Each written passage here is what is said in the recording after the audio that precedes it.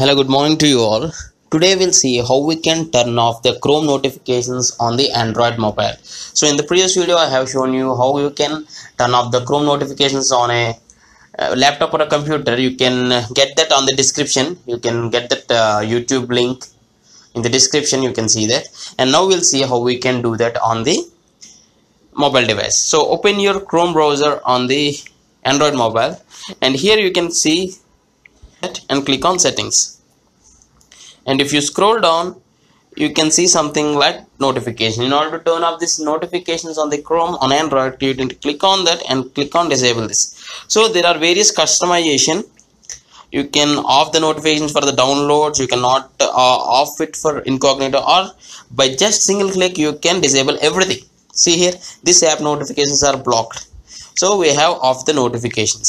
So i don't want to off it so i enable that. So this is just simple. I hope you like this and thanks for watching. Have a nice day